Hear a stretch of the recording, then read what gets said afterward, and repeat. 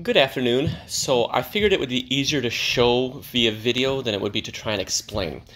So this drawing that I have here is a cutout or a, is a cross section from above of how the, the kitchen would be installed. So it's you can see it's 66 inches wide, it's five and a half feet, and 32 inches front to back. Um, that is uh, the, the this area around the outside here, this six inches this is what I need for my veneer and for my block. So the pergola post can only be can be a um, minimum of six inches away from the front. With a 32 inch wide, it would give you five inches between your um, your grill and the post, between the grill and the post. If you did 34, it would get it down to four inches between the grill and the post.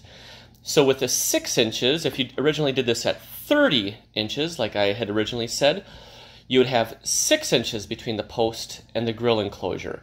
So my, my limit is really what we have right here. It's four inch block and then two inches for the veneer that goes on the outside.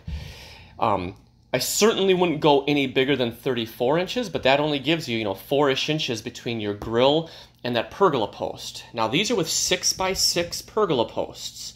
Um, that's what I have on mine. If you did four by four, then certainly it, you know you'd take off two inches on each of these sides, and you could keep it at 32 or 34 and still be in a similar range to what to what we had discussed. So I hope this kind of helps to explain um, of what the cross section kind of looks like.